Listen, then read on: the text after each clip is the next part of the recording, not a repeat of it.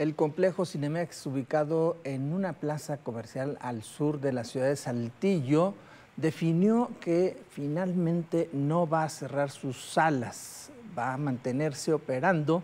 pues, claro, eh, con las normas de esta nueva normalidad.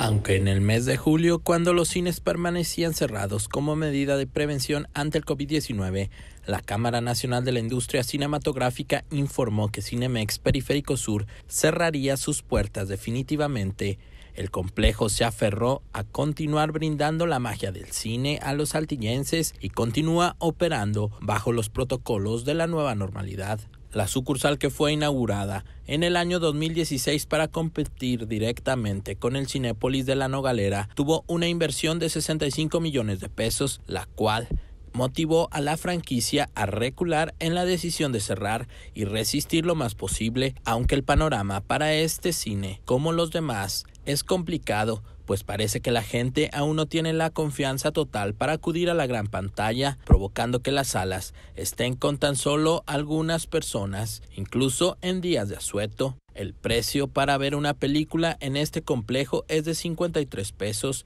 precio regular, es decir, 22 pesos menos que otros recintos de la misma firma como el ubicado en Galería Saltillo, dentro de las medidas de prevención que los cines han adoptado en esta contingencia sanitaria. Está el filtro de entrada con tapete sanitizante, gel antibacterial y toma de temperatura, reducir el aforo al 40% para conservar la sana distancia, además de mantener las puertas de las salas abiertas y prohibir el refil en los refrescos. Con imágenes de Gerson Cardoso para Telezócalo, Carlos Rodríguez.